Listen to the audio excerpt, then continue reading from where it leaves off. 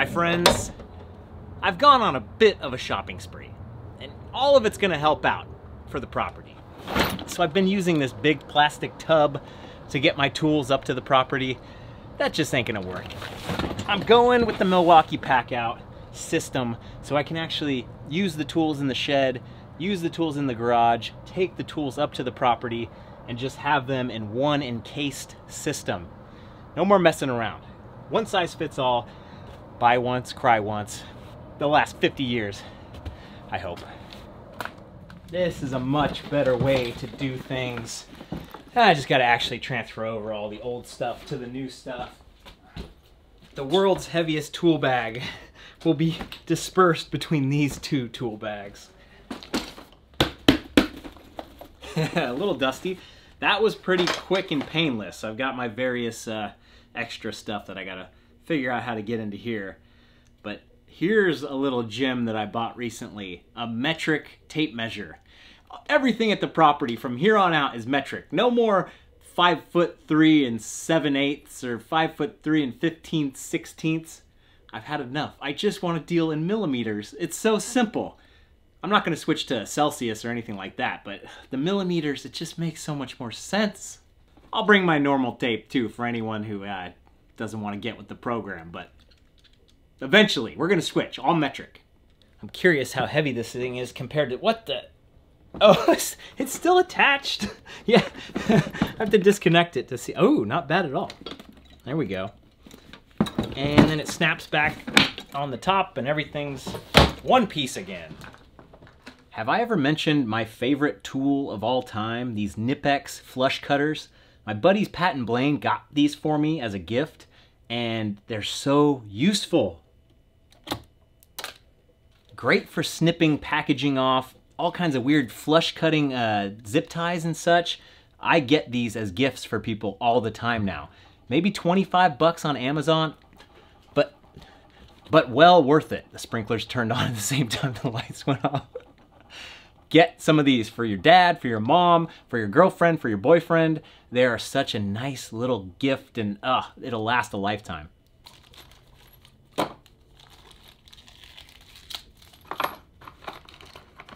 Okay, we got the big red machine sorted out for now. Oh man, I also found a bunch of good stuff at Costco. Made several Amazon purchases, but let's go talk about that stuff when we actually get up to the property. I have to say it's very funny because over the past year I've been getting rid of so much junk, stuff that's just accumulated at my house that I'm like, ugh, when am I ever gonna use that? And now, with 91 acres of raw land, I would have been able to use it for sure. Seatbelt. Oh, I don't think I hit it hard enough. Oh man, oh, I didn't make it. Oh, ah. Okay, I wasn't taking that seriously enough back down. This awkward bump here is what, uh, uh, I'm just afraid of hitting it so hard. It's not even that much. Come on, we got this.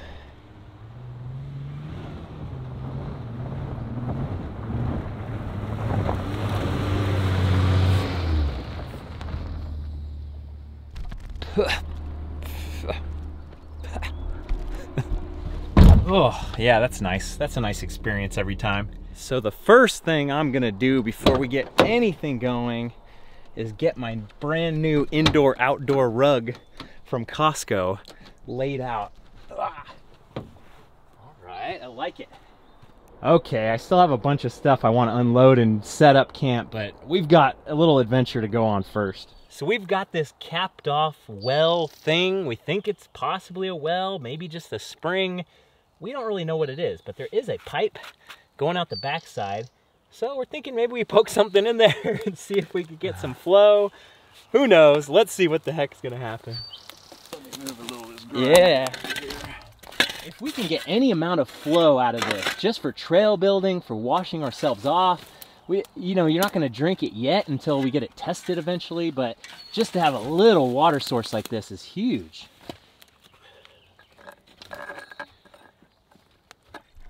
Oh, oh started flowing. Yeah. Well, that was a little, little bit. than I thought. I thought okay. I was gonna have to, and it looks pretty clear, yeah. and it's actually a, Well, it's hard to say. It might have been some buildup. Yeah. But that's a little something right there. Seems like a good amount of flow. Been watching a lot of artesian well YouTube videos. It'll be very interesting to see if this is a year-round thing or if it dries up once the mountain starts to drain out. Oh, the roots are entrenched right there.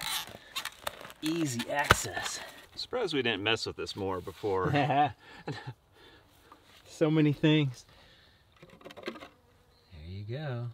Boom. Look at her fill. Okay. It may seem like not much, but over time, over a few hours, that's definitely going to be a decent amount of water. Yeah. About six gallons up to that mark yeah. on the side. So, if we fill it up, damn, we're going to have to do math. Yeah, as long as we start the timer. Okay. You ready to start it? Yeah, yeah, hold on. Go. Yeah, go for it. 953. Okay.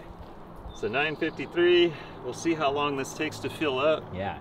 Then we, uh, what, divided by six, and that's how many gallons we get per, per hour, yeah. We'll figure out a good system because it'd be nice to pipe it in all the way over here. That way our water source is closer to us. Exactly. And then maybe we have a, uh, an overflow system or something where if it trickles out of one, is your dad's got those giant water containers, then it could just feed into the next one and yeah. the next one and the next one, and then we'll just kind of check it every day at a certain time and hopefully that will get us all our trail building water. Normally I'd have to take this blue container, head into town by the river, fill it up in the river, then bring it back here and that's kind of a pain in the butt every time. So this is huge, especially for building berms and everything too. We, we definitely need water. So we're thinking today's project is gonna be to clear this whole area out because this seems like a really good camping spot a place where I could back the van in, we can get it nice and level. If our buddies who are coming up here in the next couple days can get it cleared out, they can park their cars, they can set up tents and camping, and we can start to get a little more developed shred quarters out here. Trees are a little too far apart for the hammock, but I, I see a couple over there. And that area is right across the street from where I'm parking the van. So hopefully, ah, my Milwaukee packouts will make it easy for me to pack in, pack out, come and go. I don't know if I could lift this whole thing at once. Let's see. Nah, nah. One, one thing at a time. Yeah.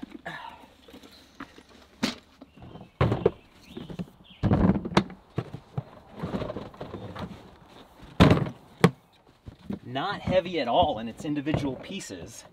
I definitely need to get a couple more for my GoPro stuff. The bigger ones that a little bit deeper are really good for that.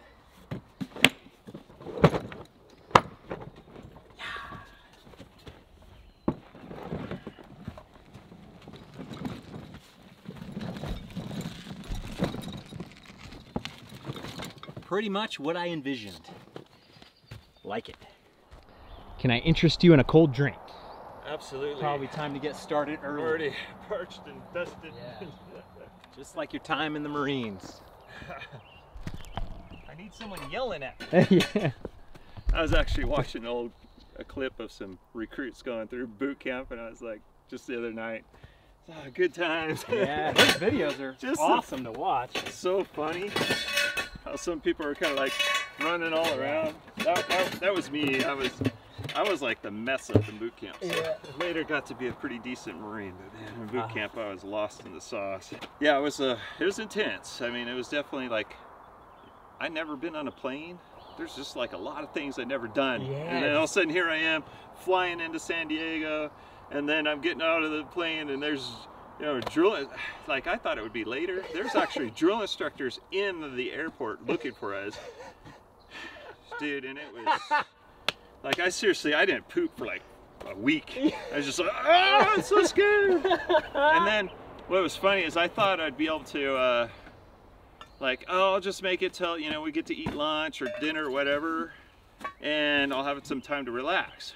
No, they ruin that too. They ruin everything. I mean, you're just going. Yeah. oh man, it's insane. 49 minutes on the clock. It's getting there. It's not overfilling. That's kind of perfect. Like an hour might be perfect.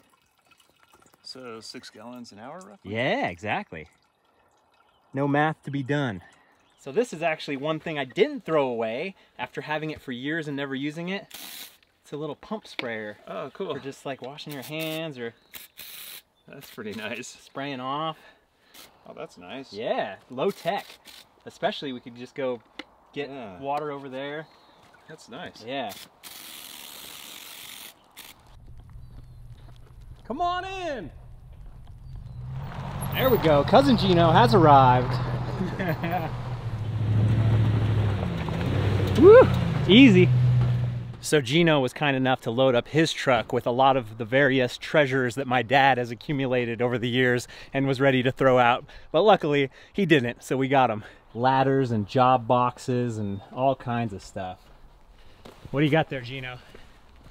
The, uh, the Milwaukee pruner. I Weapon of call it. choice. Hatchet. the mini hatchet.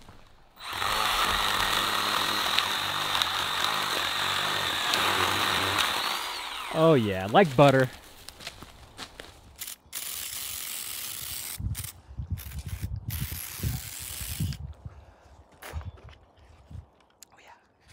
Totally forgot to actually bring any food on the way up, so I got breakfast, lunch, and dinner here. So we're back from the lunch break now. Had a nice burger at the old Gregel Frosty. And my favorite Costco buy that I found, solar panel or solar powered string lights. So I'm gonna get these out right now so I can actually charge them up. And this will hopefully look pretty cool later tonight. Oh yeah, and I also got the Tommy Bahama solar bollards. So we can put these out around the campsite. When you go out to go to the bathroom at night you don't feel so scared. I got up to go to the bathroom the last time we were up here and i was so frightened. I should have had a light. It's so dark out here. You're just like everything's looking at us. Button up shirt sunglasses and uh, solar lights tommy bahama everyone so we've got it going pretty good so far. It's way better than it was. We hacked it, we slashed it, we piled everything over there in a different spot. Now Geno's gonna pull in, see how it works. Compact it.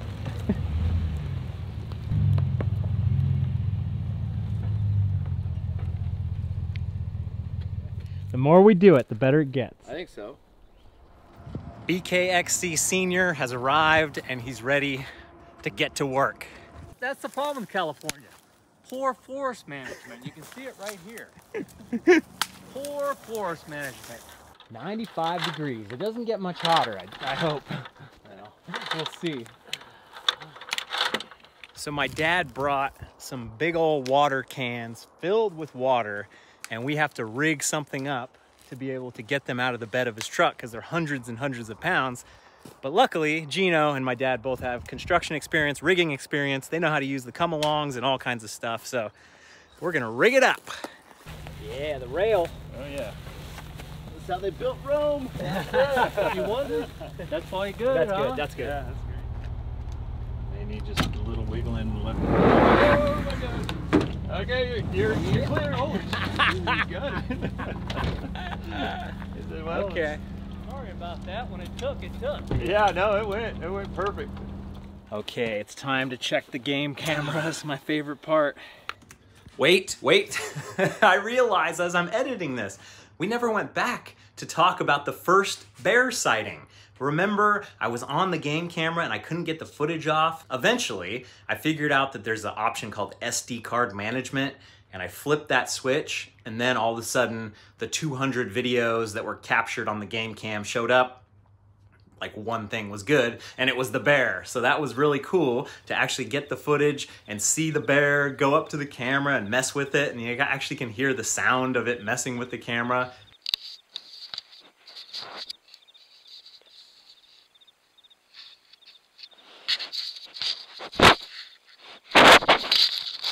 so cool very much a love-hate relationship with these game cameras. I would love to buy five more of them and get even more coverage of the land and see what's happening out there, but I hate all the little weird hiccups. The date has reset on itself. There's definitely times where it's recording a clip and it just records a 2 second clip instead of a 30 second clip that it's set to, and I'm sure if, if, if I'm seeing those problems, I'm sure there's tons of animals and things that we've missed out on. So I'm holding back until we get internet and we get power up at the place, and then I'm gonna go even more crazy with the cameras and all that stuff, but we'll get to that eventually. So let's get back to present day, not even present day, obviously you can tell. More has happened between that point and this point, but uh, let's get back to this. Full day so far. Yeah, we did it all. That looks like, oh, big bear, big bear. Big bear. Holy smokes. big bear. That that bear could have made that big poop over there. yeah. Going down. See, now the dates and times are all off though. Oh, Because the, the camera blinked out, so eh, that's that's okay. that So we don't gotta have the date. save that one though, because Yeah. that's a keeper. Ah, Another night. and then oh, a, a little a bird. bird at night. That's so funny. Per- perfectly Gotta on save camera. that because that's yeah. great. You got this big bear and then the super ferocious. What is This that? actually Roadrunner. good footage. Man, I hate that the date is not on, like the date is messed up. It just messes Oh, there was a couple everything. at night. That's a fox. Oh, That's yeah. a real deal fox. I think it had an animal in its mouth too. Oh, that clip is so short. What is garbage game camera? Ah, chipmunk. Oh, that's There you chipmunk. That's so During the day. That's a nice fox. Like good angle, big bushy tail. Yeah. Oh man.